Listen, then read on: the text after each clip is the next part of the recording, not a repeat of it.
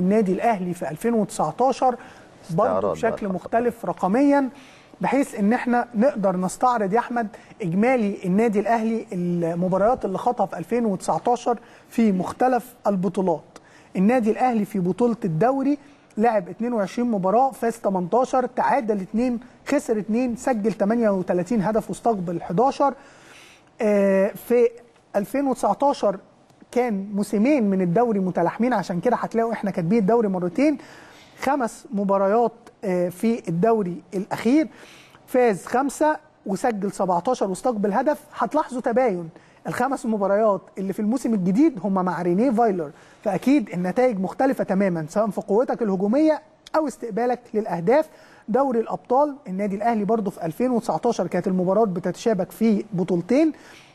لعب 8 مباريات آه، دوري أبطال أفريقيا 2018 2019 فاز 4 تعادل 1 خسر 3 في دوري الأبطال 2019 2020 لعب 6 فاز 5 تعادل 0 وخسر 1 كاس مصر برضه بطولتين لعب مباراة في الموسم ال- الكاس الماضي خسرها أما كاس مصر 2019 لعب مباراة فازها البطولة اللي لسه مقامة. السوبر المصري حققناه على حساب الزمالك من مباراة واحدة. الإجمالي الأهلي لعب 44 مباراة فاز 34 مباراة تعادل 3 خسر 7 سجل 94 أر- وس- واستقبل 26 وهي بالمناسبة ليست أفضل مواسم النادي الأهلي اللي نتمنى إن في رأيي الموسم الحالي 2020 نحقق فيها طموحات مختلفة جدا يا احمد نتمنى إن شاء الله ويمكن كمان نتائج دوري الأبطال 2019 2020 مختلفة تماما عن 2018 2019 والحمد لله يعني حتى يمكن الناس بتتكلم عن فكرة النادي الأهلي لعب 10 مباريات ما دخلش مرماه غير هدفين وده بيدل على منظومة النادي الأهلي مش بس الدفاعية المنظومة ككل اللي هي زي ما اتقال إن أنت مش هتقدر تهاجم النادي الأهلي. لكن نيجي بقى الهداف والنادي الأهلي عام 2019 وعلى رأس هدافي النادي الأهلي عام 2019 الكابتن حسين الشحات اللي أتم تحديدا سنة مع النادي الأهلي. هو طبعا كان جاي في بداية يناير 2019 سجل 14 هدف. ويمكن إحنا ذكرنا إن الأهداف في تحت ولاية رينيه فايلر كانت هي الأ- الأكثر. يلي حسين الشحات الكابتن وليد أزارو اللي سجل 12 هدف.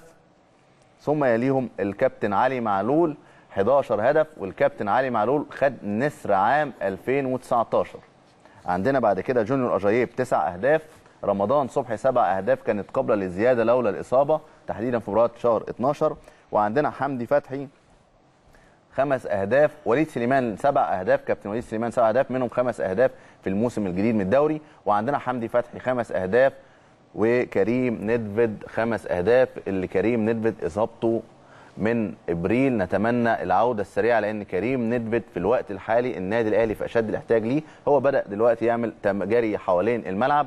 وإن شاء الله نتمنى تكون الإصابة تنتهي بسرعة ويرجع تاني لأن بالفعل هو إضافة قوية جدا لوسط ملعب النادي الأهلي خاصة وإحنا شايفين الروتيشن اللي بيتم والإيقافات والإصابات. فنتمنى عودة كريم ندفد وبرضه بنبارك للكابتن علي معلول على نسر عام 2019 ويمكن ده طبعا اتفق مع غالبية آراء. الجماهير واللي استعرضناه هنا في الأهلي خط أحمر إن علي معلول هو أفضل لاعب في 2019 للنادي الأهلي. في لاعبين آخرين يستحقوا إن إحنا نذكر مجهودهم. الأكثر مشاركة على مدار 2019 نستعرض اللاعبين اللي كان لهم المجهود الأكبر في آه، سنة 2019 كان آه، عمرو السولية 42 مباراة. أيمن أشرف 42 مباراة محمد الشناوي 41 مباراة علي معلول 40 مباراة حسين الشحات 40 مباراة جونيور أجاي 37 مباراة ورمضان صبحي 36 مباراة وبكده نكون فعلا في الحصاد يا أحمد ما سبناش للناس حاجة تناولنا كل حاجة تخص النادي الأهلي على مدار عام 2019 ولكن يبقى حد مختلف خالص خارج دائرة الحصاد دايما ولكن شفنا إن له حق علينا إن إحنا نذكره لأن هم جنود مش مجهولة.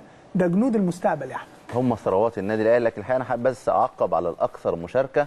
هنلاقي ال- الكابتن حسين الشحات والكابتن علي معلول وجونيور أجاييه والكابتن رمضان صبحي تحديدا ده اللي النادي الأهلي دعم بيهم. طبعا كان جونيور أجاييه مصاب وعلي معلول كمان مصاب ورجعوا في شهر يناير وكمان الكابتن حسين الشحات والكابتن آه، رمضان صبحي كان رجعوا برضه في شهر يناير وده بيدل على إن الانتقالات الشتوية للنادي الأهلي من أنجح الانتقالات الشتوية اللي حصلت في مدار تاريخ النادي الأهلي وفرقت كتير جدا مع الموسم. الموسم بالظبط مع السنة كاملة مش الموسم بس نيجي بقى لثروات النادي الأهلي وقطاع الناشئين في النادي الأهلي اللي دايما هتلاقي